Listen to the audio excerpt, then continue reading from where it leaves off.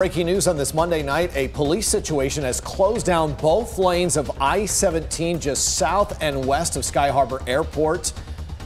It was a police situation with DPS involving a white pickup truck. They were in pursuit. We want to go ahead and show you the video. We actually have video of the moment that they do the pit maneuver. There you go. You see the trooper bumping the back of the pickup. It spins out. And as they pull up, watch this all that smoke, that is gunfire coming from the troopers' vehicles. You're going to see them all open their doors. They're going to try and get as close as they can with a safe distance.